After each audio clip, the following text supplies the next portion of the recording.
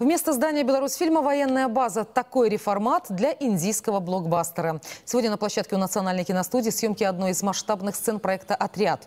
Болливудская киногруппа работает в сотрудничестве с белорусскими коллегами. В международной команде операторы из Америки и австралийские постановщики. Специально для сложных экшн-сцен построили вышку. Спецтехнику танки и машины предоставила МВД. Несколько сцен снимают шестью объективами. Камеру установили даже на крыше. Большая часть техники от Беларусьфильма. Впервые в кадре появится сразу шесть десятков белорусских каскадеров. Кроме них более сотни человек в массовке и спецназ.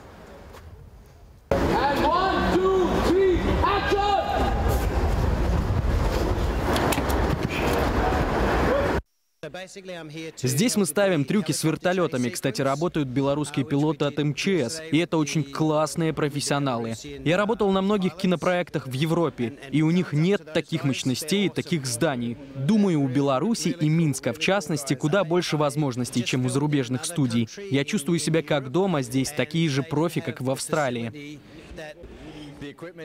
Ваше техническое оснащение ничем не отличается от британского. Это определенно лучшие камеры. И мне очень жаль, что у нас нет съемок на улицах Минска, потому что архитектура очень достойна. Я бы с удовольствием показал ее в ленте. Киногруппа работает по 12 часов ежедневно. Среди запланированных локаций – натур-площадка Беларусьфильма и заброшенные цеха заводов.